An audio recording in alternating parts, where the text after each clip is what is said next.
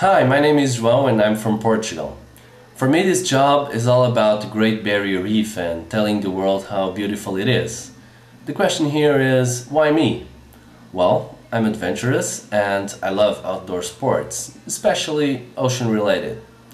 I surf, I kite surf, I'm a AIDA P2 freediver and I also scuba dive.